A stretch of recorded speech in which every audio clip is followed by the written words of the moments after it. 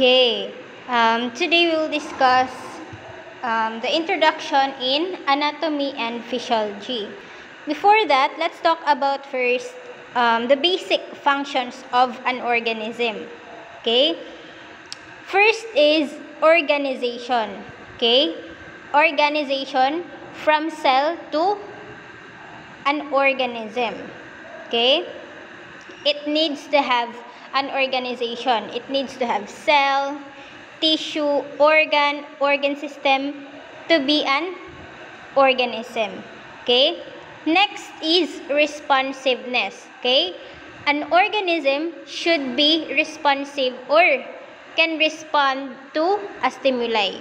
Okay? It reacts. It responds. Okay? Next is growth and differentiation. An organism such as animals, plants, and humans, they are um, a living organism and so they grow. Okay? They grow and differentiate. Okay? Their cells differentiate, for example, um, from a stem cell, it develops into a muscle cell or a nerve cell or a skeletal muscle, such as that. And then, reproduction. It should be capable of reproducing. Okay? Or producing another of its kind. Next is the ability to move or movement. Okay? Next is eh, movement. It's either um, growth movement or motility. Okay? Next is metabolism and excretion. Excretion, I mean. Okay? Metabolism, um, the ability to convert um, energy, okay, from what it's eat or what it eats. Next um, the specialties of anatomy. Okay, we will now dive into the anatomy. Anatomy can be divided into gross and microscopic. First, we have the forms of gross anatomy. Okay, surface anatomy. Surface anatomy is the study of external features, okay, of the body of an animal. In birds, it is termed as topography. Okay? Surface anatomy deals with the anatomical features that can be studied by sight. Okay? Yung nakikita without dissection. Okay? As such, it is a branch of gross anatomy. Okay?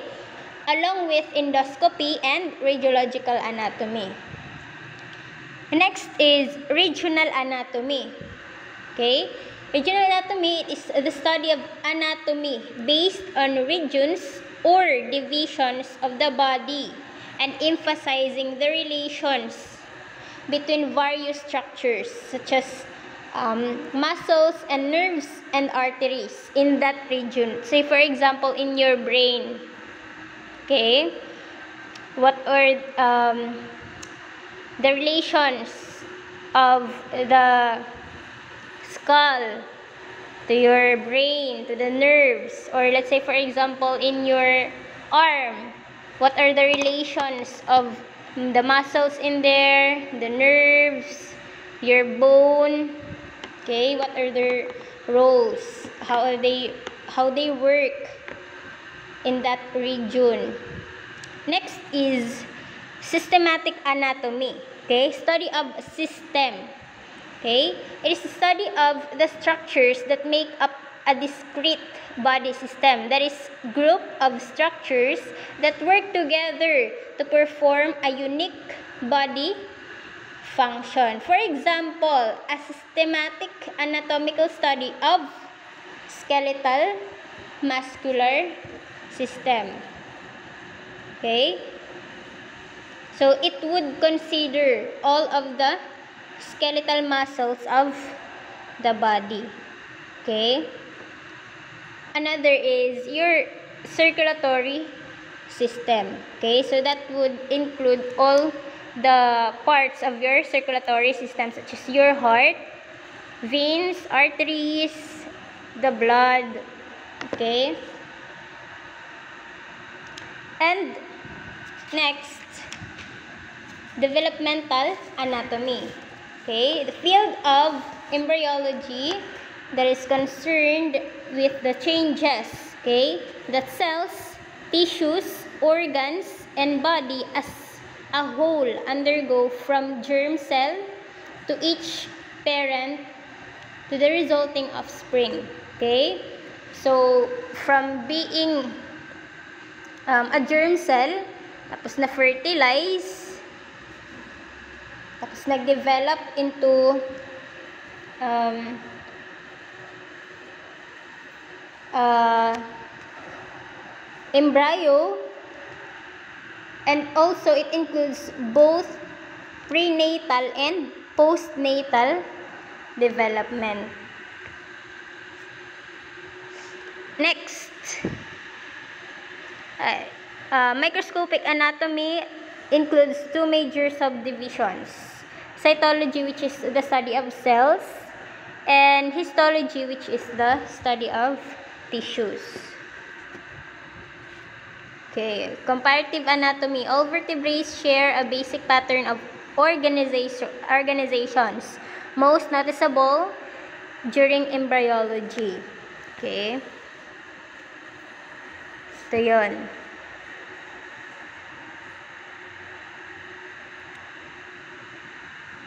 So, we will be discussing this one as we go further in our course. So, kung makikita nyo, um, halos magkapare-parehas sila. Okay? Even the parts.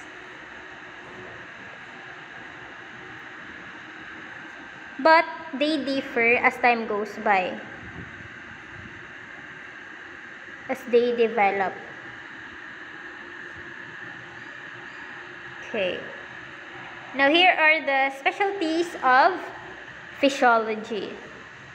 Physiology is the study of normal function of cell, tissues, organs, organ system, and uh, organisms. Physiology can be divided into following specialties. First is cell physiology or the study of cell. So, um, it is the study of activities that takes place in a cell to keep it alive. Okay, in term of physiology, it refers to a normal functions in a living organism. Next is special physiology. This is the study of the functions of specific organs. Okay, it's study of specific organ for example, renal physiology is the study of kidney. Okay, it's um, specific.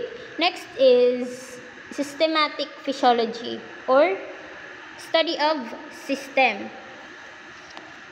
It includes all aspects of the function of the body systems such as cardiovascular physiology, respiratory physiology, reproductive physiology, by system. Okay?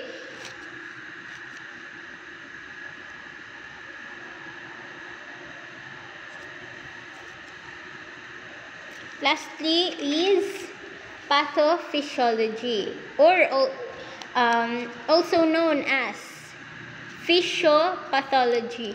Okay?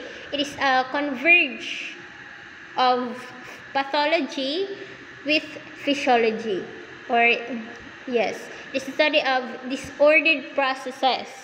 Okay? Disordered processes that cause result. Uh, that cause result from or are otherwise associated with a disease or injury. Okay? The study of effect of disease on cell, tissue, organ, and organ system. Okay.